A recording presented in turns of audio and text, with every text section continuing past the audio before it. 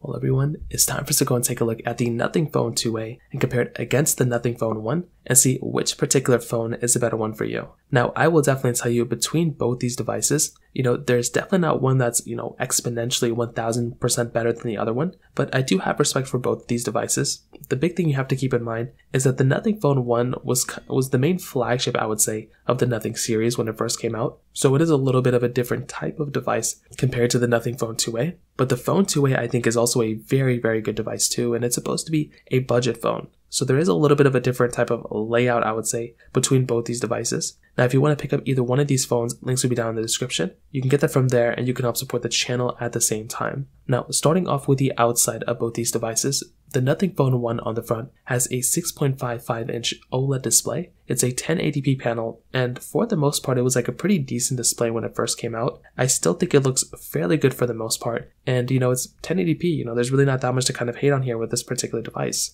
It's a good looking panel. I think for the most part, if you're going through and kind of, you know, messing around with this type of, you know, phone, you're going to have a pretty good display on it, and it's 120 hertz. As I would say, as long as I have like a 120 hertz display on my device, I'm pretty much okay. And that's kind of all that really matters to me. Those are really the main things I would say for the most part for these particular devices. Now with the Nothing Phone 2A, this is a little bit of a different type of device. The thing with the Nothing Phone 2A is that, again, it's supposed to be more of a budget phone, but I would say that the panels are fairly similar. The Nothing Phone 2A, you are getting a 1080p AMOLED display on this particular phone. Now, it's still 120 Hz, and it still is a very, very good display for the most part. As you probably would have guessed, there's really not that much to hate on here with this particular you know, device either. And I think both these phones look very, very good when it kind of comes down to it. And I do think in a lot of different ways, like if I'm going through and getting some sort of device, I like the fact that this thing is a cheaper device. It doesn't cost that much, and it's a you know budget phone that still has a really good display on it. On the bottom of these both you know both these phones, they have USB Type C ports, which is really cool. I love having USB Type C. On top of that, both these sides on these phones are pretty much flat, so it's a pretty cool thing that the fact that we're getting kind of modern feeling phones on these you know both these devices is really nice, and having a flat back and having a flat sides is really really nice. So this in and of itself is very cool. Now, on top of that, another big thing here is with its back. So both these phones, kind of the, I guess the, I guess selling point of one of these nothing phones is basically the fact that they both have like this glyph interface on the backside. So it's kind of an interesting thing. You know, I kind of like it, but you can be the judge of that. Essentially what it is, is it will light up your phone if you get a notification or something. And you can go through and kind of modify this whichever way you want to. So it is actually a really cool thing. I like having that type of capability on this device. And you can customize this within the settings too, which is really cool. You're getting dual camera setups on both these devices, which again is super cool. I love having that type of capability as well. And beyond that, again, there's nothing else super crazy I would say going on for both these devices. They both, well, the Nothing Phone 1 is definitely a phone that's built, feels way more expensive than the Phone 2A. So if you are wanting the more expensive feeling device, you definitely are going to be getting that on a phone like the Nothing Phone 1 than on the Nothing Phone 2A.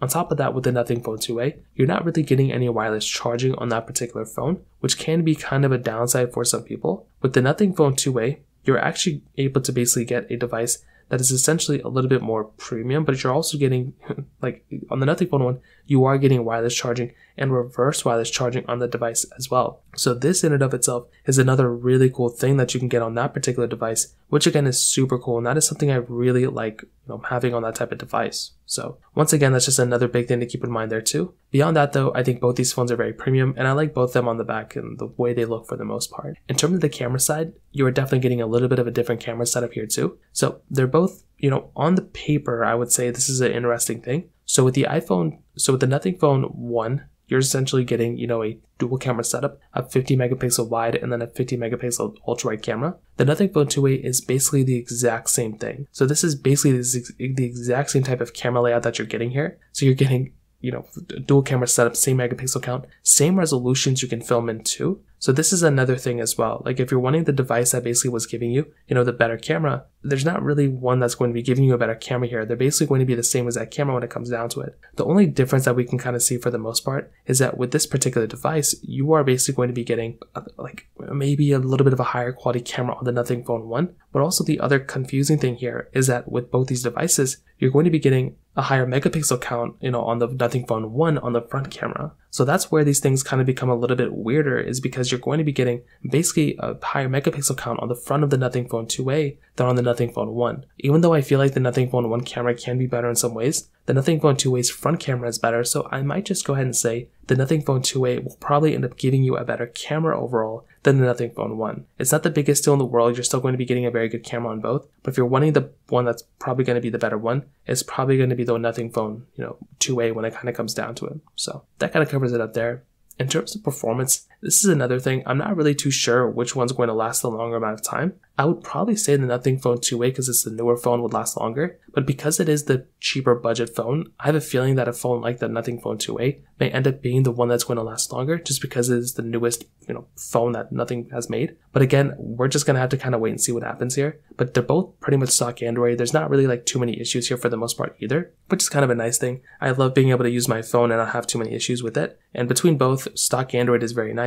I like stock Android between both, and that's another cool thing going on between both these devices as well. So from that particular perspective, there's not really too much else to kind of hate on here either. Now, on top of that, the performance between both these phones, it's another very interesting thing. So with the Nothing Phone 2a or the Nothing Phone 1, you're getting that Qualcomm Snapdragon 778G plus 5G chipset with 8 or 12 gigabytes of RAM. With the device and with the phone like the Nothing Phone 2a, you are now getting that MediaTek Dimensity 7200 Pro chipset inside. So that right there is just one type of chipset. And you're getting 8 or 12 gigabytes of RAM inside of this phone as well. So this is very interesting because it's just kind of all over the place. So on one hand, you are getting basically like a newer type of you know chipset, I would say, and the Nothing Phone 2a, but I have never even heard of the MediaTek chipsets in a long, long time. It's been so long since I've heard that. With the Nothing Phone 1a, I have heard of that, or the Nothing Phone 1, I've had I have heard of that chipset before. So because of that, I have a better understanding of that chipset and I can tell you between both, the performance really isn't that bad. Like they're both fairly decent performing devices when it kind of comes down to it, which is something that's really cool and very important to have. You probably would want a device with the performance that's going to be very good, that's not going to have too many issues. And between both, that's kind of what's going on here. So that is something I like a lot. If I'm going to pick up one of these types of devices, I definitely wanted to have some sort of, you know, performance improvements there. And that's another really cool thing going on here as well. Unfortunately, I would say between both, you know, they're not going to be the best performing, you know, devices of all time, but they're definitely going to be good. And like I said, there's really not too much to kind of hate on there from that perspective.